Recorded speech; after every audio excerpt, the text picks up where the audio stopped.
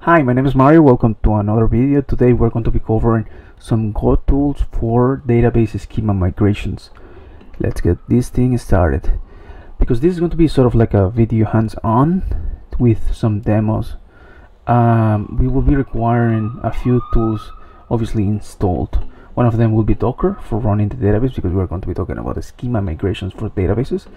Uh, Go 1.15 a little bit of understanding of, of Go modules.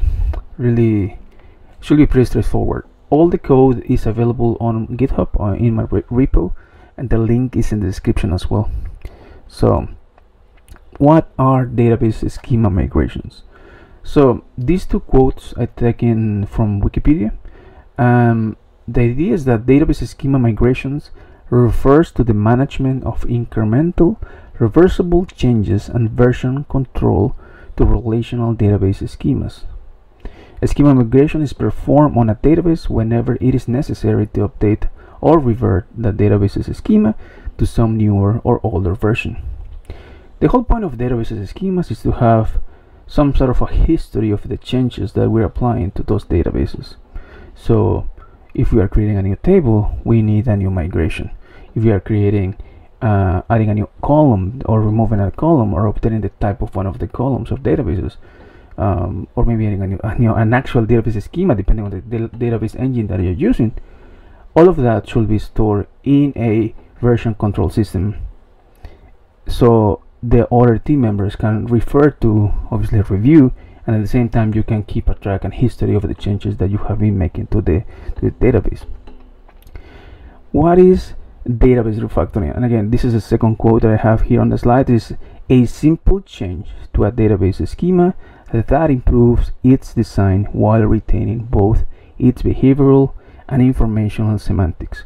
So database database refactoring is obviously related to the, the schema migrations because when you are refactoring databases you need migrations as well to apply those changes. The idea of having um, or making database or refactoring databases is in cases where perhaps you need to split a table or maybe to, you need to join a table or maybe you need to um, define some sort of different um, maybe implement a view or those kind of things. Now um, there are two awesome books that I really recommend. And the funny thing about these two books and there are a lot of them but these are the ones that I highly recommend anyone to for, for, for reading and understand databases is that if we go back to 2006 refactoring databases is, includes a bunch of different um, patterns for refactoring databases according to some problems that you may have and you may be experiencing or some some problems that you want to avoid if your database um, increases the data and whatnot. Now on the other side we have monolith to microservices that is uh, was published last year uh, and it's been between the two of them 16 years and the, the, the cool thing about this is uh, all of that that is in, in that original book, refactoring databases, still applies to something really modern like microservices. So I highly encourage you to take a look at that. Uh, read these two books because these are phenomenal and you won't be disappointed. Now the cool thing about this is that both of them are available on the O'Reilly learning uh, system. If I don't know you, you use that, I'm, I'm a huge fan, and I will make a video about that specifically. I already have a blog post on, on my on my on my website discussing whether it is, is worth it or not. And this is kind of besides the point of, of this specific video, but I just want to bring that up. Now, what are some popular tools in Go specifically that allow you to define, maintain, run, and, and interact with database migrations? Um, I'm listing five of them. There are more. And these two the, well these five in particular and, and, in general all of them follow two different flavors.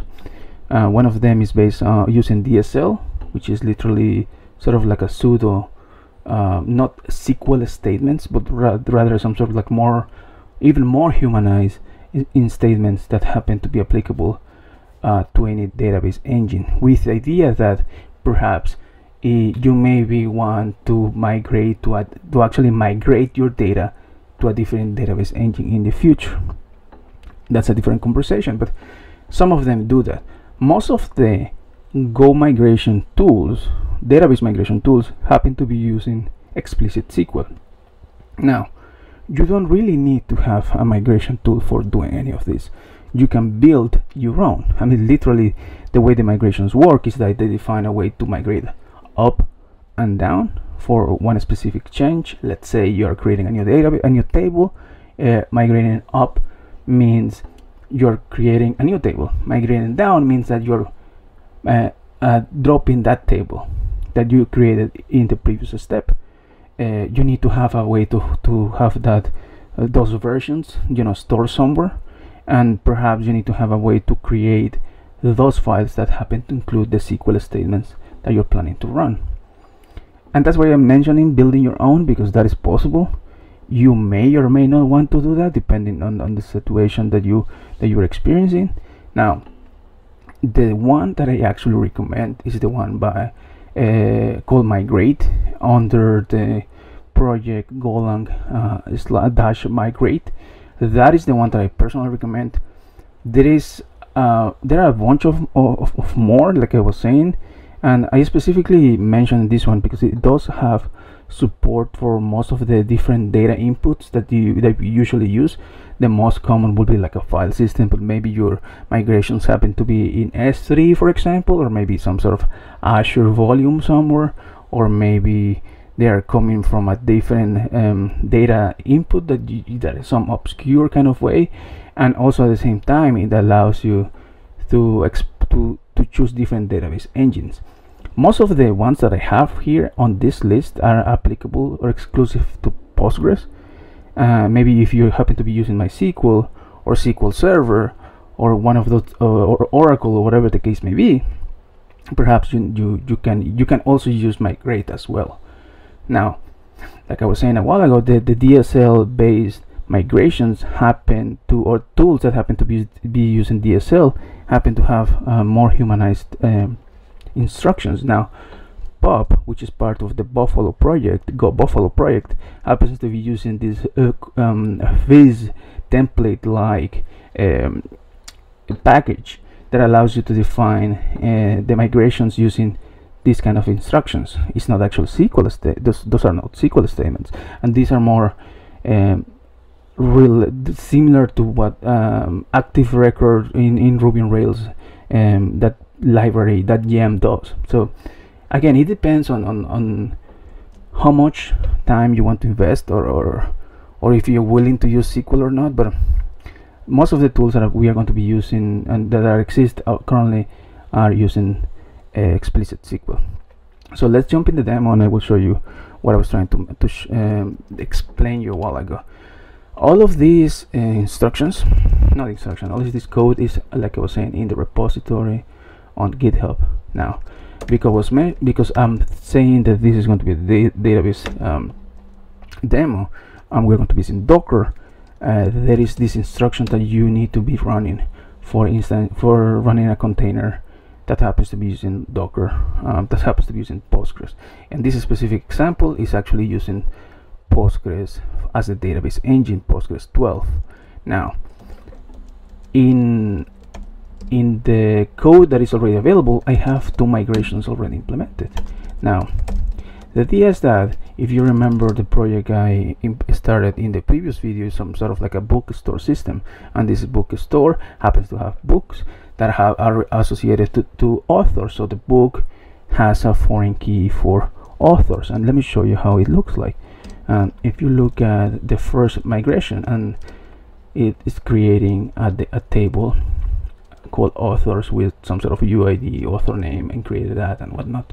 Now, the second migration is the one for books, and now the books happen to be uh, defining the foreign key, which is for the authors. All right.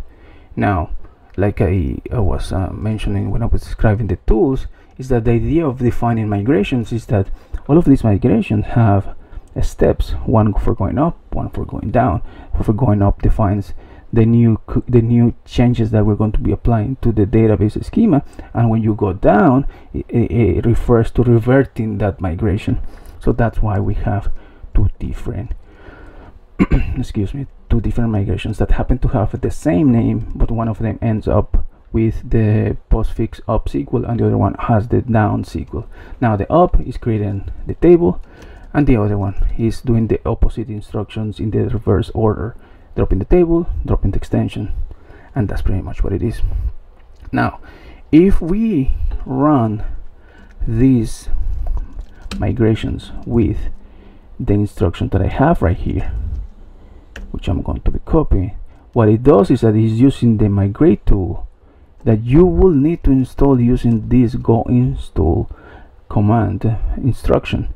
And one important bit about the migrate tool that I'm, I'm uh, discussing right now is that because it supports way too many data inputs and database engines you need to be explicit with some of the things that you want to build. Otherwise your repository um, and your project will have uh, dependencies that you need you don't even need. So you have to be careful when doing that. Now if we run to migrate what is going to happen is going to be creating those two migrations. All right now the, if we open this database tool called TablePlus which i'm a huge fan which i'm trying to drag to this window um, it allows you to see Ooh, I cannot open it. Okay. I'll, I'll make it into let's drag it right here. Let's put it right here. There you go. So this database plus what it's doing is um this is allow it's just um a GUI for Postgres. You can actually use pSQL if you want to use the command line but just for the sake of having something much more uh, visual uh, this is what I was uh, trying to show you a while ago that it took me a little bit but anyways uh, we have the the the schema of the database and the migrations already applied. And the cool thing is that there is this table called schema migration. That migration the tool the go tool is in charge of, of, updating and it uses it as a way to track what is the migration that was applied the last. So in this case is this one ending in 13 which if we go back to this one you will notice that it's the last one being applied. All right? Okay so let's go back a little bit to what are we going to be doing when trying to create a new migration? Let's say that we're planning to create a new migration and in this case we're going to be adding a new column to the books table and in this case we're going to be calling it pages. All right? We this is the command that the tool at the moment supports and the cool thing about this tool is it's not actually only the CLI it does have a package and you can build your own tools using that API in case if you for whatever reason the data input the data input that they, they they don't have the data input that you happen to be using for for example. Or maybe you're pulling your credentials from environment variables. Or maybe you're pulling your credentials from some sort of uh, like a vault like HashiCorp vault. Or maybe um, AWS uh, system store. Those kind of things that are not available or they are more difficult to do unless you start doing scripts in bash or some sort of like a terminal based language. So you have the option to use the API to actually build your own CLIs with as complex as you want. So that's one of the things that I also like as well.